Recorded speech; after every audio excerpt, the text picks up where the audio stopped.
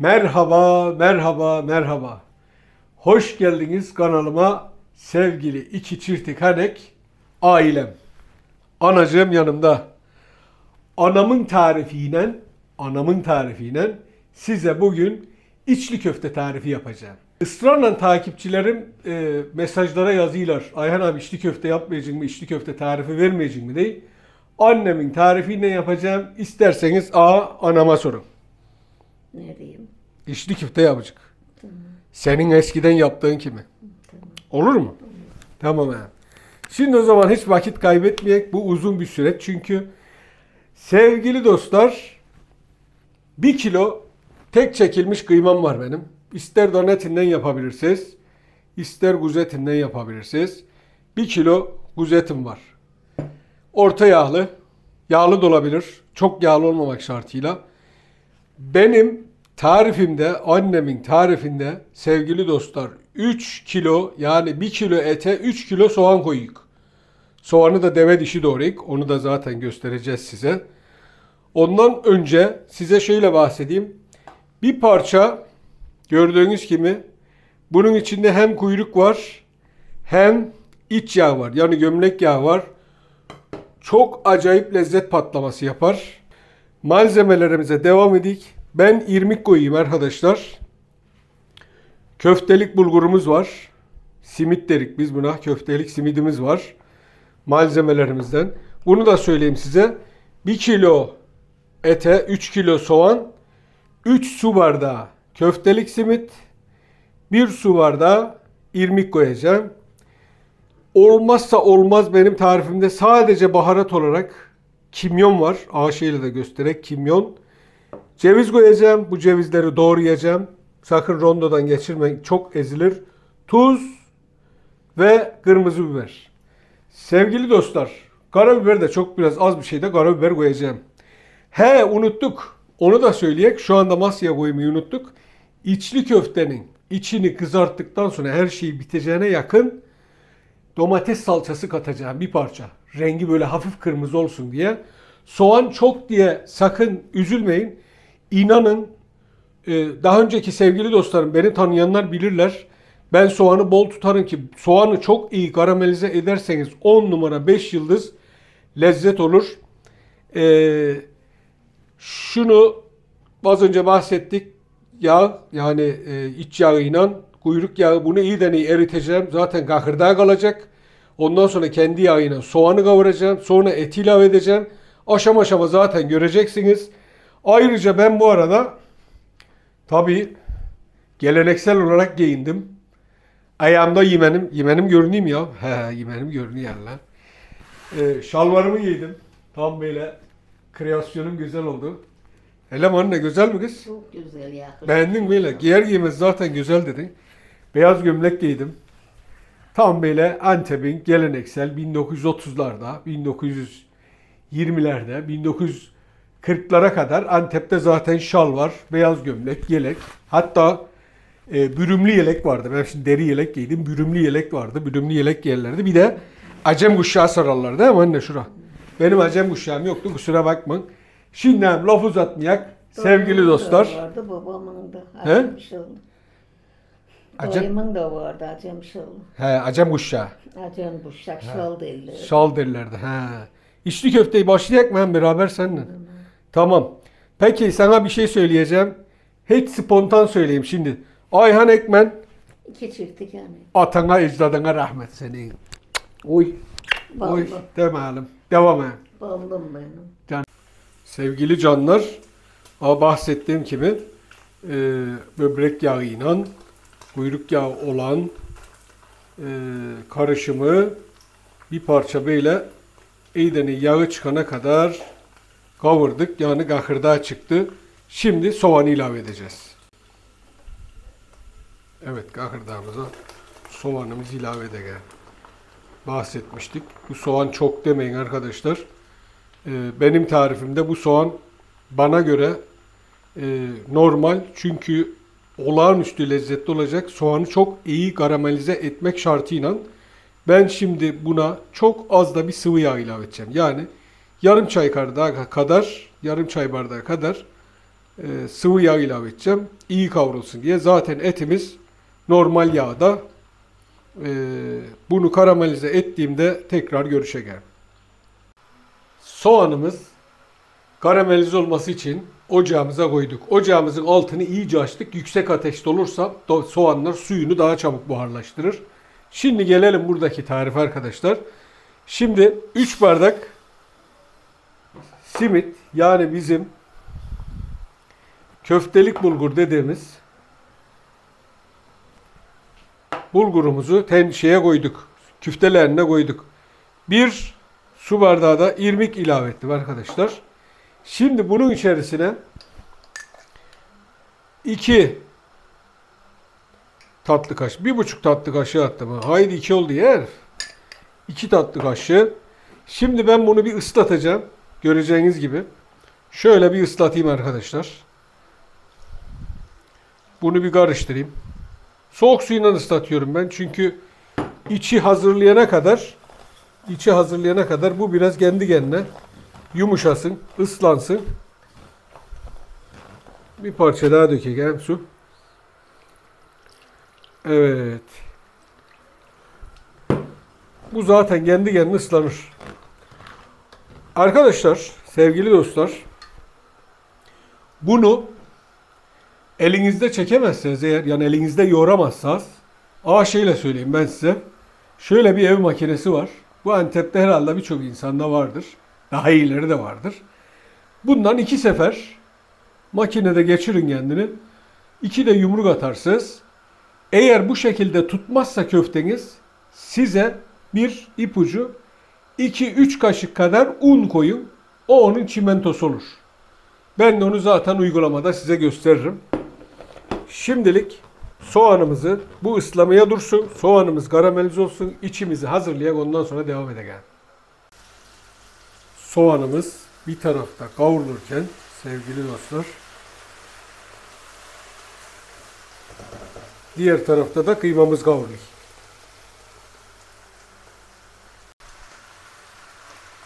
Soğanlar güzelce karamelize oldu. Gördüğünüz gibi. Şimdi sevgili dostlar Evet kıymamız da çok güzel. Şimdi ne yaptık? Artık kıymayla burada kalanı alacağım şimdi merak etmeyin. Kıymayla soğan da beraber hemhal olsunlar şeyler. Beraber. Bunu böyle kızartacaksınız. Bu iyice karamelize olacak. Ne kadar güzel soğan karamelize olursa o kadar lezzetli olur. Bunun soğanı çok demeyin. Soğan zaten 3 kilo soğan kayboldu gitti. 10 numara 5 yıldız bir lezzet olacak. Salçasını, tuzunu vururken gene beraber gel. Bir yemek kaşığı kadar salçamızı ilave ettik. Bu salçanın çiğ kokusu gitsin diye biraz kavuracağız. Dilediğiniz kadar siz acısını kendiniz ayarlayabilirsiniz. Ben bir tatlı kaşığı koyuyorum. Annem çünkü acı yemek. Şimdi bunu beraber karıştırarak altını tekrar hararetlendirdim. Gördüğünüz gibi soğanlar iyice karamelize oldular. Soğanlar kaybolmaya yüz tuttu. Salçamızdan beraber de içli köfte içimizi döndürdük. Salçanın da şeyi gitti. Salçanın tuzu olduğu için ben sadece bir tatlı kaşığı atacağım. Tuzu. Tuzunu da ilave ettim. Sevgili dostlar. Bir çay kaşığı kadar karabiber ilave ettim. Sevgili dostlar. Evet olmazsa olmazı bunun. Olmazsa olmazı kimyon. Bizim tarifimiz. Başka baharat koymuyoruz. 2 tatlı kaşığı 2 tatlı kaşığı da kimyon koyup bir miktar daha döndüreceğiz. Arkadaşlar bunu kavurduktan sonra cevizini hemen sıcak sıcak atman. Ceviz kıtır kıtır kalsın isteyseniz bu kıymanın soğumasını bekleyin bir parça. Yoksa ceviz de bunun içine attığınızda beraber pişer. Böyle yediğiniz yerde kıtır kıtır ağzınıza gelmez. Şu an mutfağın içinde muhteşem bir koku var.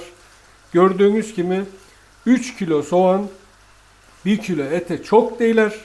3 kilo soğan şu anda nerede arkadaşlar? Kayboldu gitti. İçimizi soğuttuk. İçli köfte içini. Cevizini soğuduktan sonra atıyoruz. Sevgili dostlar, içimizi kavurduk. Şimdi size bir kolaylık gösteriyorum. İçimiz soğudu. Cevizini de kattık. Arkadaşlar şöyle kameramanım yaklaşırsa içimizi şöyle avucumuzun içinde evin içinden ahalinin de sesi geleyim bilmeyeyim. Şöyle yapıyoruz. Bunları difrize atacağım şimdi. Şöyle gördüğünüz gibi. Difrize atacağım. Difrizde donduktan sonra yapması daha kolay olacak. Evet. Sevgili takipçilerim. Tabii makinede çektik. Ufak tefek de bir emek vermemiz lazım. Sakız kim oldu? Gördüğünüz gibi. Yani tavana atsam tavana atsam tavana yapışacak kadar. Evet şimdi bunu da yaptık. İçimizi de içte dondu. Çıkarttık bunu. Yani diğerini çıkartacağım. Bunu oraya atacağım. Diğerini çıkaracağım. Küftemizi yorduk. Buzdolabından, difrizden şeyi çıkarttık. Sevgili dostlar şeyle gel abi yaklaş kameraman. Benim görünmem önemli değil. Gel. Şöyle bir tane cevizden biraz büyük. Siz istediğiniz kadar ölçeğinizi siz ayarlayın. Çünkü çok büyük olursa dışı kalın olur.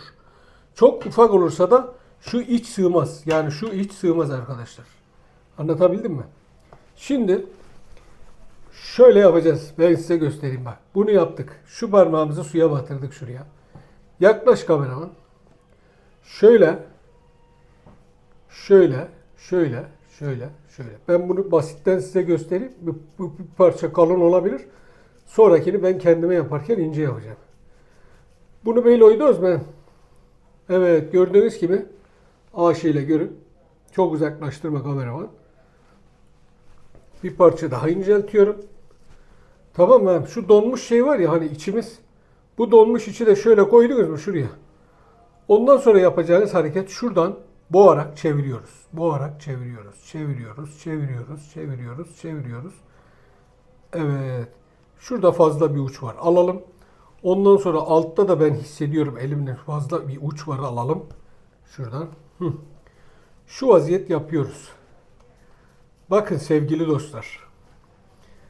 Şekil önemli değil. Şu vaziyet bile kızartsanız bu lezzet aynı lezzet. Onun için hiç benim gibi şu emek vermeye uğraşmayabilirsiniz. Ama iki avucunuzun birleştiği yer bunu şöyle çevirdiğinizde sivriltecektir. Bakın görüyorsunuz. Bunu ben ağır çekimde de göstereceğim size. Şu an içli köftemiz hazır. Sadece kızaracak. Birkaç tane daha yapacağım. Ondan sonra kızartırken beraberiz.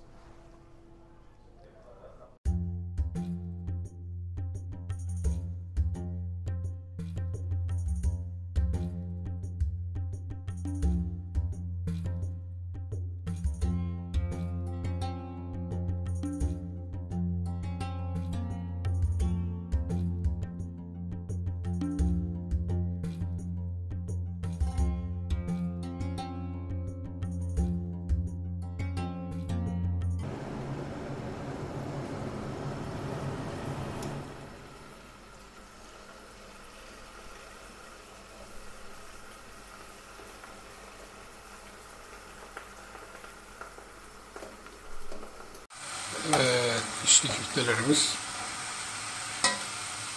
kızardı. Oo. Of of of of. Of. Of ben nerelere gideyim, ben nerelere gideyim. Aman Allah tebe. Evet sevgili dostlar, sevgili canlar. Elleri öpülesi.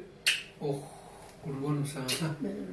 Annemin tarifiyle güzel bir içli köfte yaptık. Biraz meşakkatli, biraz uzun video olabilir. Kusura bakma. Küçük küçük ayrıntıları da vermeye çalıştık. Bunun dışına et konur. Et koymak isterseniz koyabilirsiniz. Derin yağda kızartmanızda fayda var. Biz de derin yağda kızartmaya gayret ettik.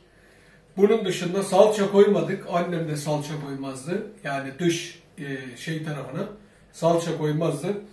Ben annemin tarifini yaptım. Umarım beğenirsiniz. Aa şimdi annem de tadına baksın. Bize bir not versin. Buyur Emre. Buyur usta. Tamam hep gelin de A- gelsin. gelsin ya. Ayhan Ekmen. Bir ya, iki çırptık ya. Çiftik anek de beğendim. Hele iyi beğendim de güzel olmuş. Isır ısır kafadan ısır yani. Isır bölmene gerek yok. Güzel.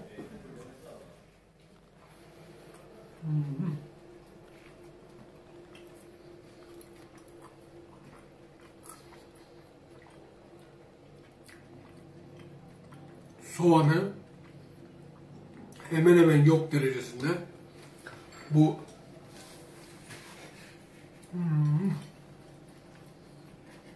Güzel olmuş. eline sağlık. Ben ettim ki. Aman Allah tövbe. Ben yaptım diye söylemeyeyim. Zaten ben yapmadım. Annemin tarifiyle yaptım. Aha ben öldüm. Siz size bakalım.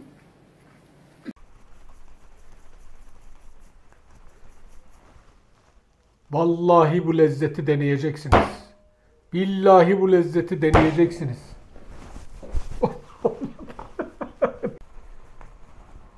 Vallahi bu lezzeti tatbik etmezseniz umsuruk olacaksınız. Vallahi. Onu oraya koy evladım.